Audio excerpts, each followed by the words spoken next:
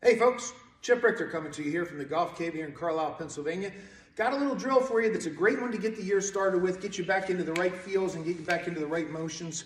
Uh, using something that you can find right just laying around the house. There's, there's a bunch of them in everybody's home. And this isn't a drill that I invented. This is a drill that's been around a long time, but it's a really good one. And if you haven't tried it, you might want to give it a try, especially to start the season and make sure you check checkpoints are you're hitting some good positions. What we have here is a coat hanger, okay?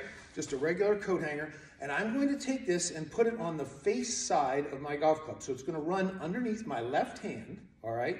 And I'm gonna put my left hand on there, and what you're gonna notice is that this coat hanger is now touching my left wrist, okay?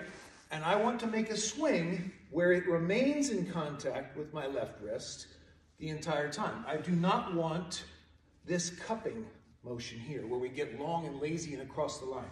I want that coat hanger to stay on the left wrist the whole way to the top, okay? So, very simple stuff. Keep the coat hanger on the left wrist. That'll keep the left wrist flat. There'll be less adjustments needed through the hitting zone. You're gonna hit better shots. But what else it does, and probably even more important than helping you get the club face correct at the top, is through the impact zone. And we see so much of this, especially with wedges and chip shots. We see people trying to help the ball up in the air. That's not what we want.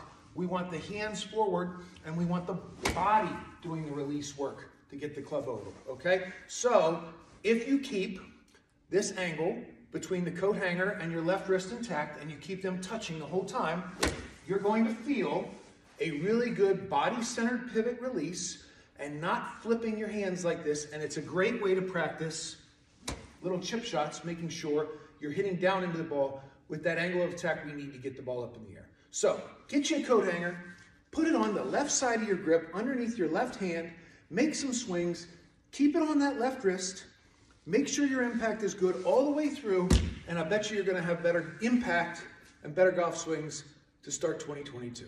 Hope you enjoyed this week's tip. Talk to you soon, folks.